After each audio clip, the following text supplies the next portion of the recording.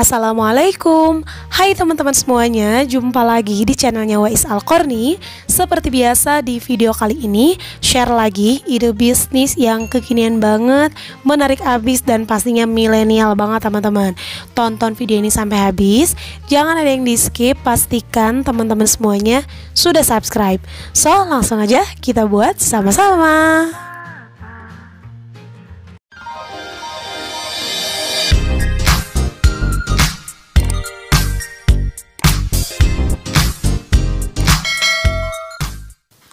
Pertama kita siapkan 500 gram usus ayam. Ini sudah dicuci bersih. Selanjutnya kita siapkan juga 250 gram tepung terigu.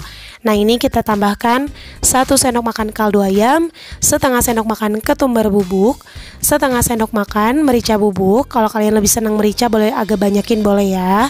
Kemudian kita tambahkan seperempat sendok makan garam. Diaduk-aduk semuanya sampai tercampur rata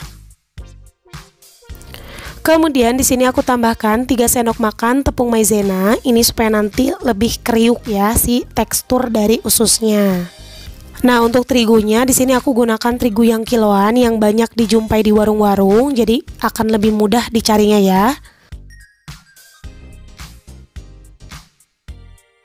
Oke setelah bumbu tercampur rata ini boleh langsung dimasukin ususnya ke dalam tepung Kemudian kita balur dengan tepung semuanya sampai benar-benar terbalur. Boleh gunakan tangan untuk hasil yang lebih e, maksimal ya Biar si tepungnya tuh benar-benar nempel ke ususnya. Nah kalau misalkan menurut teman-teman sekiranya si ususnya panjang teing Ini boleh digunting begini aja tuh gampang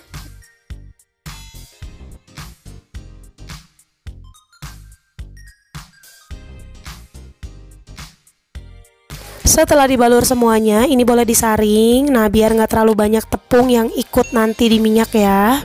Oke di sini teman-teman semuanya jangan sampai gagal fokus sama saringan yang aku pakai. Ini jadul banget tapi masih sangat bermanfaat. Jadi soalnya masih aman lah untuk digunakan ya, lumayan. Oke teman-teman boleh lakukan semuanya sampai dengan habis atau mau tepungin goreng tepungin goreng kayak gitu juga boleh banget ya untuk hasil yang lebih maksimal sih menurut aku mending tepungin goreng tepungin goreng gitu teman-teman. Jadi dadakan ditepunginnya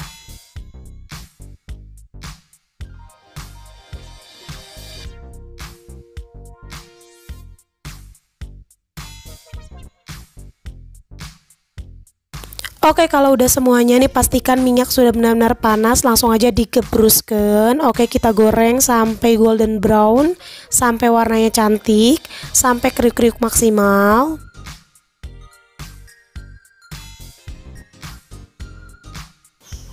Jangan lupa sesekali nih dikocek-kocek, alias diaduk-aduk biar semuanya benar-benar matang sempurna.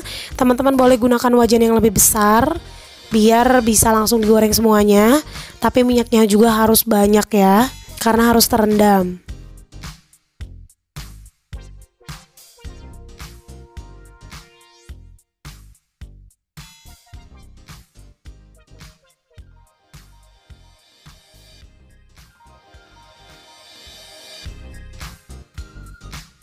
Oke kurang lebih ini warnanya udah kecoklatan Sudah golden brown, sudah cantik Sudah dipastikan kriuk-kriuk Ini boleh diangkat dan ditiriskan Selanjutnya di sini kita akan masak bumbunya. Ini siapkan 10 siung bawang putih yang sudah dihaluskan. Kemudian kita masak. Ini aku gunakan minyak sebanyak 100 ml. Nah, ini diaduk-aduk semuanya sampai bawang putihnya mateng.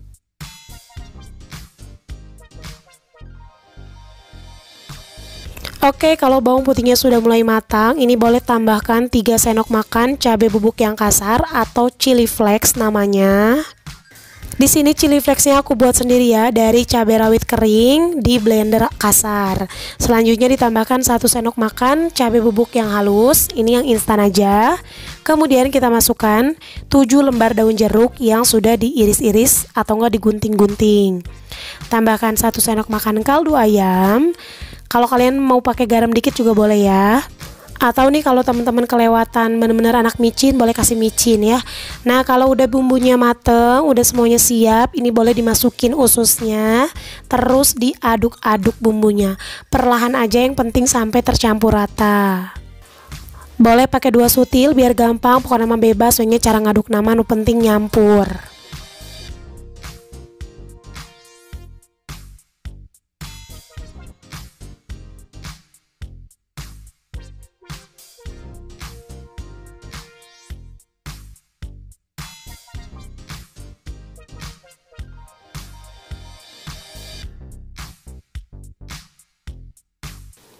Oke ini sudah cukup tercampur rata semuanya. Nah beh Masya Allah ini udah ngacai banget dubbingnya ya.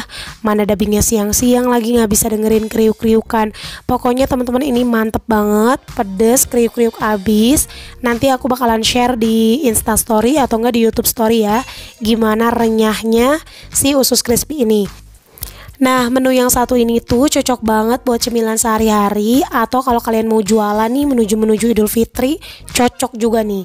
Biar nanti di rumah-rumah orang-orang banyak cemilan yang enak kayak begini. Nah, untuk contoh kemasan jualnya, ini bisa gunakan pouch seperti ini. Ini pouchnya yang ukuran besar ya. Nah, ini sih uh, ususnya juga beratnya 250 gram.